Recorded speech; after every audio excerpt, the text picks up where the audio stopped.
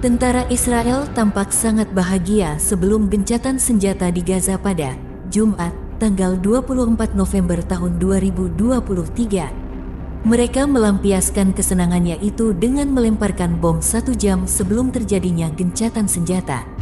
Dalam video yang diunggah Almok Boker, koresponden stasiun Israel Channel 13 terlihat momen tentara Israel bersorak gembira. Mereka merayakan kesenangannya dengan melemparkan bom dan menghancurkan bangunan di jalur Gaza satu jam sebelum dimulainya gencatan senjata.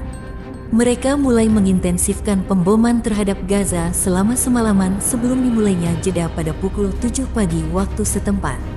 Tampak dalam rekaman video, sekelompok militer Israel melihat ke kawasan pemukiman warga dari kejauhan.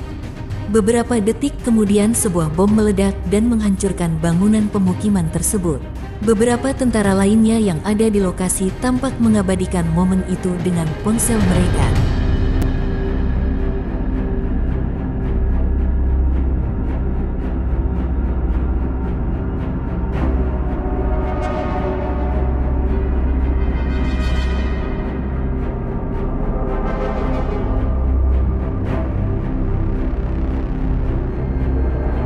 Tentara Israel tampak sangat bahagia sebelum gencatan senjata di Gaza pada Jumat, tanggal 24 November tahun 2023. Mereka melampiaskan kesenangannya itu dengan melemparkan bom satu jam sebelum terjadinya gencatan senjata.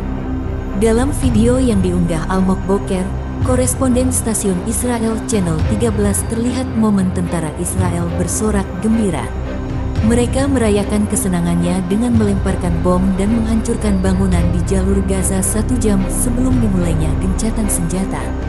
Mereka mulai mengintensifkan pemboman terhadap Gaza selama semalaman sebelum dimulainya jeda pada pukul 7 pagi waktu setempat. Tampak dalam rekaman video, sekelompok militer Israel melihat ke kawasan pemukiman warga dari kejauhan. Beberapa detik kemudian sebuah bom meledak dan menghancurkan bangunan pemukiman tersebut.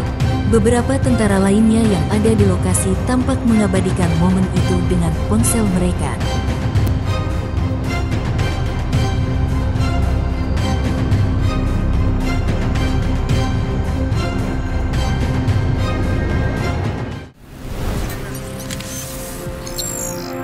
Tribun X menghadirkan lokal menjadi Indonesia.